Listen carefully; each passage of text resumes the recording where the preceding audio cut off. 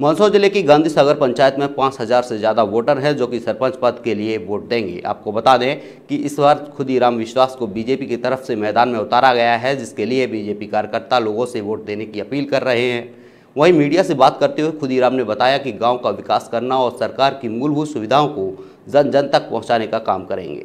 जो अपने पूर्व सरपंच थी, बहुत शोषण किया हम लोगों को, ठीक है?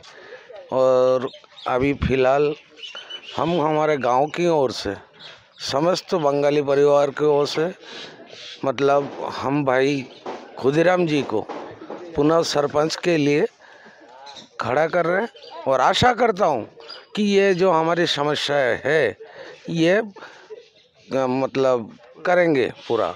मैं गांधी सागर ग्राम पंचायत के उम्मीदवार के रूप में इसलिए आया हूँ गाँव के जो बुद्धिजीवी लोग हैं, विकास के लिए कुछ समय से परेशान थे।